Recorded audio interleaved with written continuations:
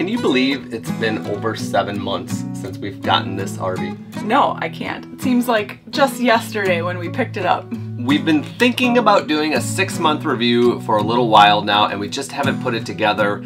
So today we're gonna do six things we like about this RV and six things we don't like about this RV to kind of put uh, a little bit of thought into the past six or seven months and how this rig has fit into our lifestyle. Sticking true to positive fashion, we are going to start with our likes. And our number one like is our kitchen. It's no secret that I love to cook. We eat the majority of our meals at home every single day. So a big functional kitchen was really important to us. And what I love about this kitchen is the gigantic sink. It's beautiful with the liner down below and the nice wide open counter space. This big counter space landing is very rare for this size of a travel trailer. And I love the fact that I can have my big beautiful chopping block and my air fryer sitting here while I still have plenty of space to prep and cook. For me and Aaron, the kitchen was key. Chris mentioned the large kitchen for the size of this travel trailer, which is actually our next like, and that is the overall size of it. It is not too big and it's not too small. It's about 26 feet, and it turned out to be a really good transition from our Sprinter van, which was about 22 feet, and uh, it kind of made us feel like we were getting a large upgrade in space, but we weren't jumping too big up in size right away. So somehow, just like the Sprinter van, Chris is now doing most of the driving after I started out doing the towing and driving with this. And I ended up spraining my ankle. Chris took over driving, and now it seems like she's driving the whole time. So you enjoy pulling this size travel trailer? It's a breeze to tow. It's really easy to drive. Obviously, going forward on the highway and even in the city, I don't get nervous at all because it's very manageable.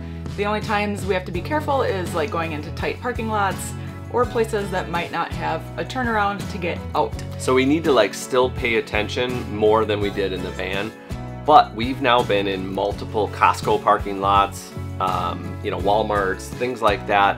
And uh, it's very easy for this rig to get into most places. And for a trailer, I am very comfortable now backing it up and parking it in a back-end site.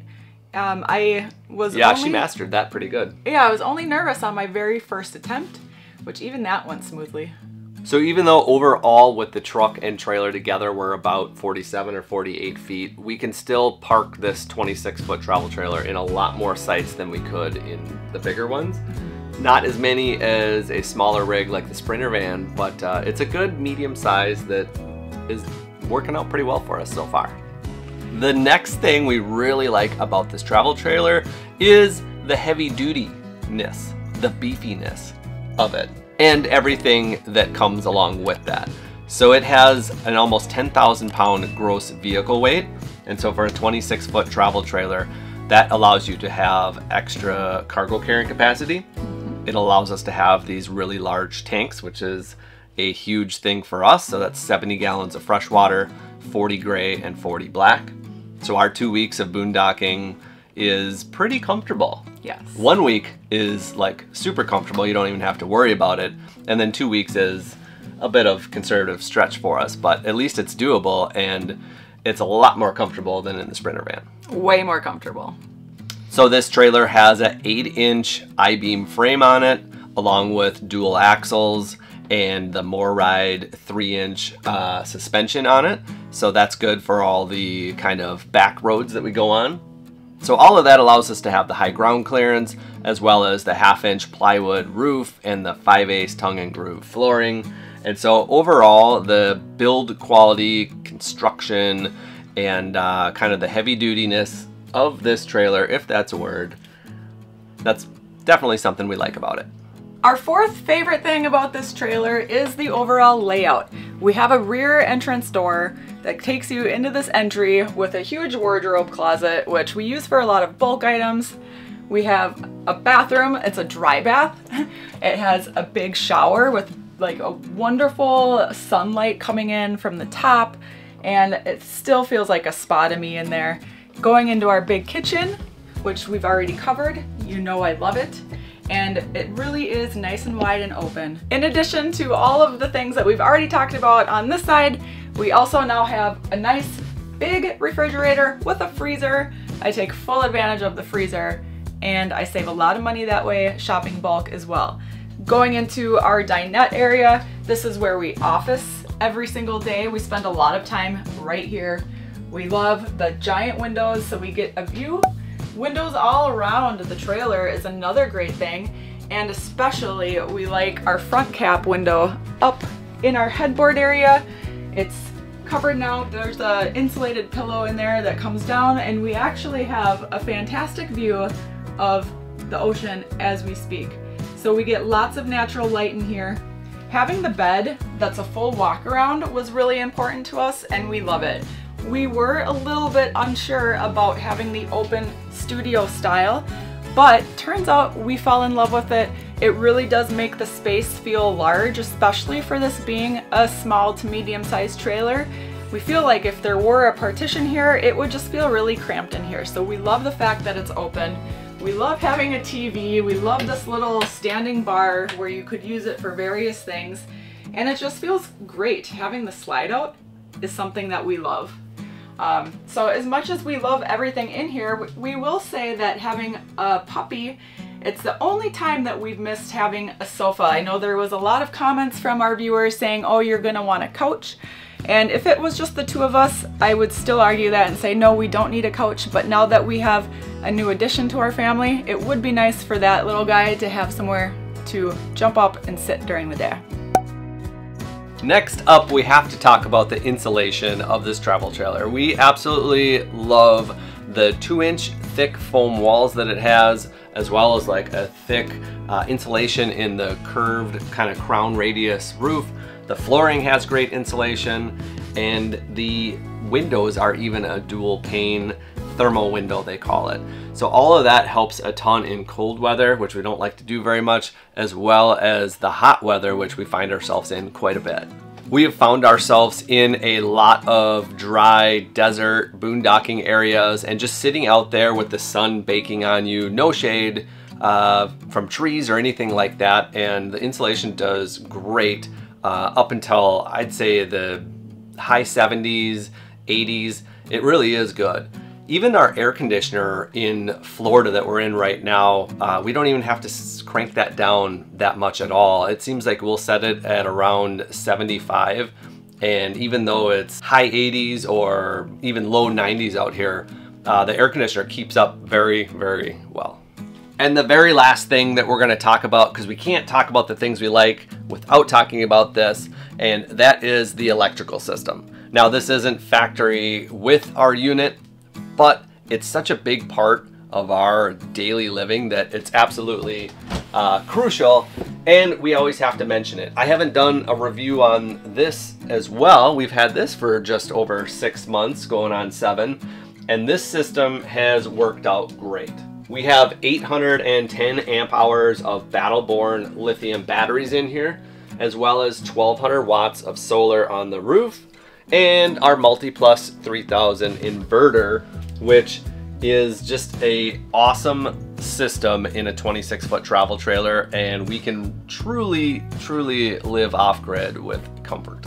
Now moving on to our dislikes. Because not every rig is going to be perfect. No, so if we walk through here and we wave our magic wand, these are the items we would fix. You actually waved a magic paintbrush at first.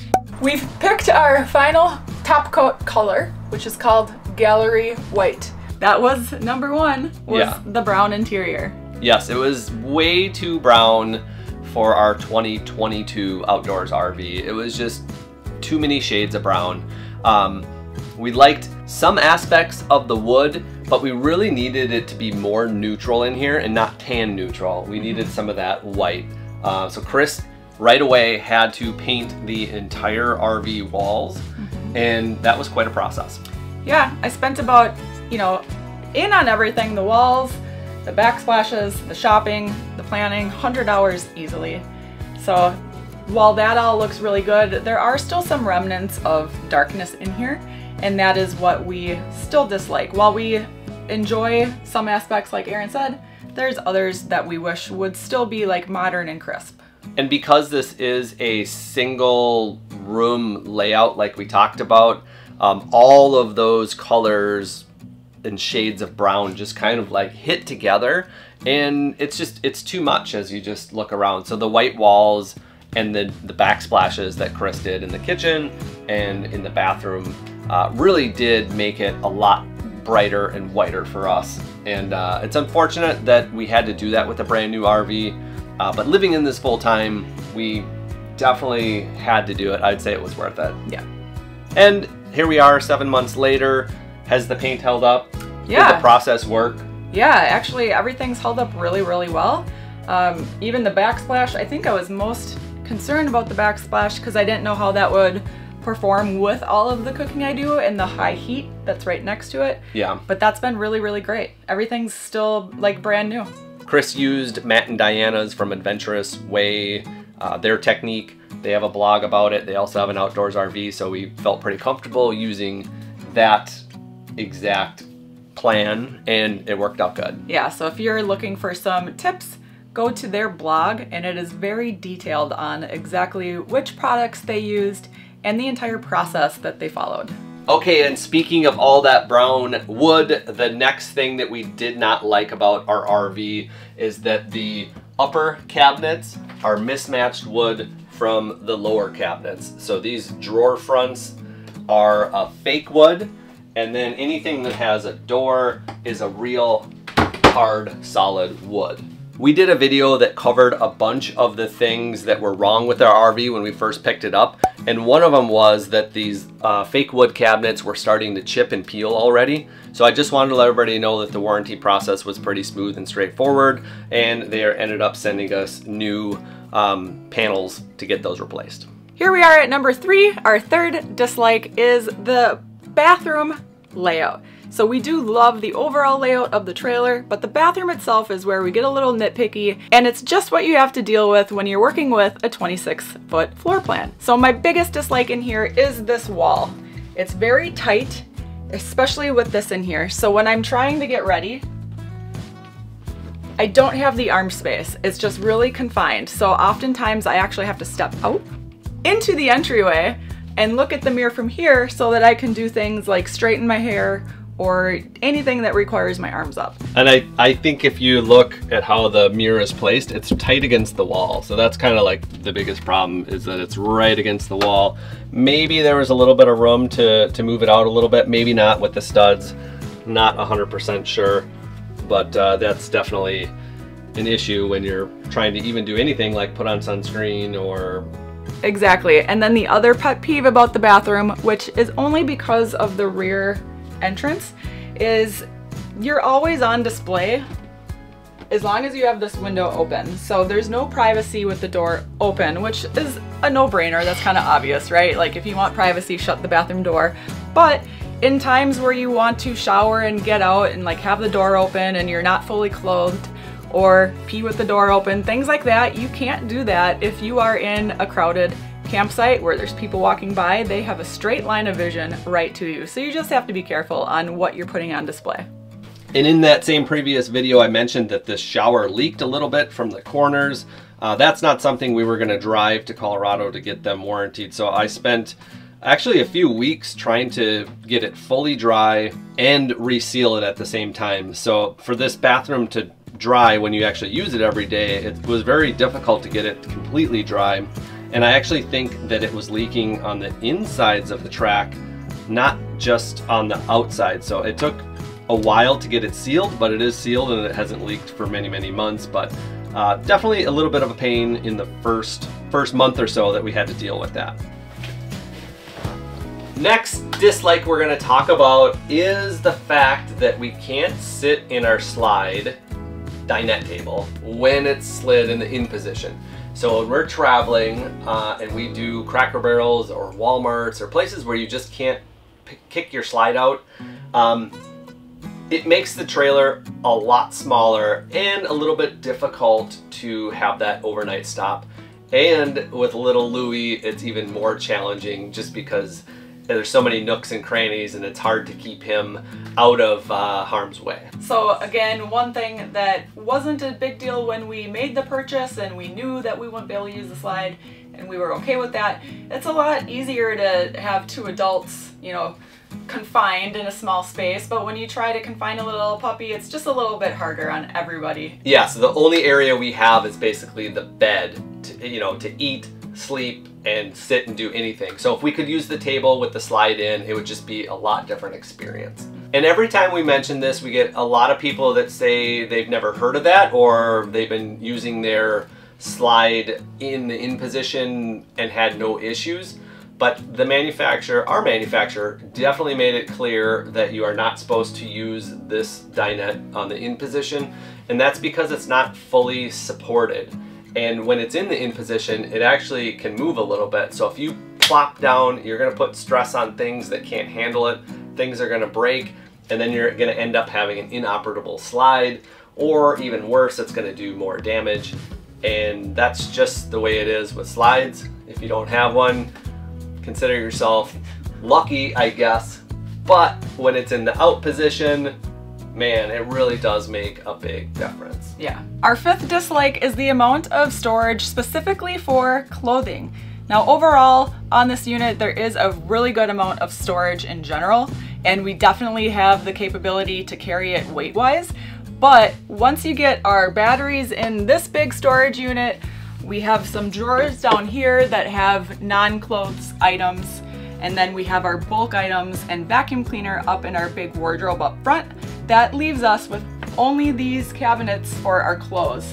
And they're pretty big, you know, don't get me wrong, we have a lot of clothes on board, but I think I have too many clothes for the space. You can see even with it being really well organized, it just gets kind of crammed in there and then as a result, I find myself not even wearing a lot of what I have because I don't want to be digging it out. So clothing, I guess I'm getting a little spoiled. I have a lot, I want to wear it all, and I could even have a little bit more. But what makes it hard is being a full-time traveler, you need to be prepared for every situation. So that means carrying four seasons worth of clothing all year round and I'm a freeze baby, so yes, I need my puffy coats, I need lots of hoodies, and then obviously you need your hot weather stuff too. So it just really adds up quickly and you need access to everything. And as a little bonus pet peeve, you were always talking about that door doesn't open all the way because of the valance on that window. I still hate this. So yeah, it doesn't open all the way. So something that's already irritating. Be because of the valance back here. Yeah. Yeah. So Aaron's side of the bed, his door clears the valance. His opens all the way up to the wall. So he gets nice, easy access. And I'm just like wrestling with that side all the time. Yeah, and this is a emergency exit window, so it's short and fat, and so it's allowed so you can exit out safely, as opposed to having the long, tall, skinny window over there, which I actually like that window better because you can see out while you're standing. Well, this one is just uh, a lower style window, but if somehow they could have two tall, skinnier windows and still have the safety factor figured out, that would be a best case scenario. Yeah, so I do feel a little guilty talking about something as privileged as clothing. Like, you know, it's a first world problem for sure. But again, this is the magic wand for our house. This is what we live in, and if I could change that, I certainly would. Our sixth and final dislike of this unit is in the kitchen, the electric and the way that it is set up and wired. So in the kitchen, we have four outlets that are AC outlets all on the same breaker. So that means even though we have power enough to put two high powered units running at the same time, that breaker just can't handle it. And that's a problem for me when I want to run my air fryer and my induction at the same time. And what I would ideally do is have my air fryer here and my induction here and be cooking simultaneously at the same time. When I try to do that, it blows, the breakers pop, and we have to shut down mission. We've tried to do some experimenting with running an extension cord into the bathroom. Unfortunately, that's also the same breaker, so we can't do that. The only option would be to go up into this cabinet where the microwave is plugged in that's on a separate breaker but it's really not safe to have cords dangling while I'm cooking, especially if we're doing like a recipe or filming something and or having people over, you know, like it's just not a, something that I want to get in the habit of having extension cords dangling in front of my face with this open.